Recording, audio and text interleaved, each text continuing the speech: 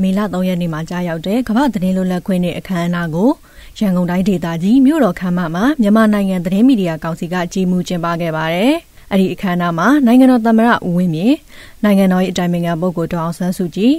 ကာကွယ်ရေးဝန်ကြီးချုပ်ဗိုလ်ချုပ်မူကြီးမင်းအောင်လှိုင်နဲ့သက်ဆိုင်ရာဌာနအသီးသီးတို့မှပေးပို့တဲ့ကမ္ဘာသတင်းလွတ်လပ်ခွင့်နဲ့တဝန်လာတွေကို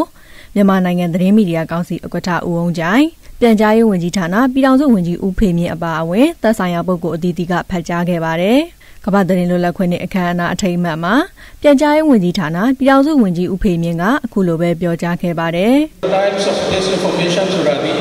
မူသားသတင်းလက်နက်တွေနဲ့လူအဖွဲ့အစည်းကိုနှောက်ယှက်ဖြစ်စီကိုကြိုးပမ်းလာနေတဲ့ကာလလို့ဆိုလို့ရပါတယ်။အဲ့တော့သတင်းမှားတွေပိုးပွားလာတဲ့ကိစ္စတွေနော်ဒီသတင်းမှားဖြစ်ဆိုတော့ Times of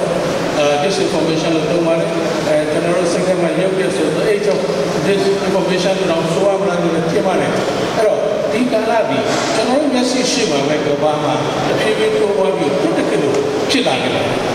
ပြန်ပြီးတော့လေကနေကိုစဉ်းစားကြည့်ရင်အလုပ်သိနိုင်ပါတယ်အရင်လေကလေလောက်က post truth ဆိုတဲ့စကားလုံးတစ်လုံးပေါ်ပေါက်လာ post truth post truth ဒီ2016ခုနှစ်ရဲ့အဲအထူးခြားဆုံးစကားလုံး word of the year ဆိုပြီးတော့တမတ်ခဲ့တာကိုအမိကြပါတယ် အဲ့ဒီမတိုင်က post truth အဲ့ဒီဒီပိုင်းမှာအများကြီးသုံးဆွဲတာ post truth ဆိုတာပါလေ